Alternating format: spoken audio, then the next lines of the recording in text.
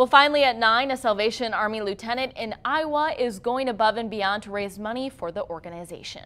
I'm living up here till we reach our kettle goal. His area's Salvation Army needs to raise nearly $129,000 in the next six days for its Red Kettle campaign. So from today till Christmas, Thanks, Merry Christmas to you. Greg Bach will be living on this kettle.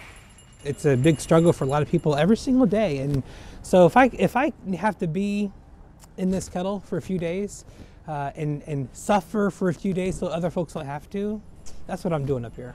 Have a good day. Greg says he'll come down on Christmas, but if they haven't hit their goal yet, he says he'll head right back up to the kettle until they do. Pretty kind of him. I noticed that that's in Muscatine, Iowa. One of my favorite city names. Really? yeah, just great name. Muscatine. Muscatine, Iowa. Anyway, good luck to him and God bless him for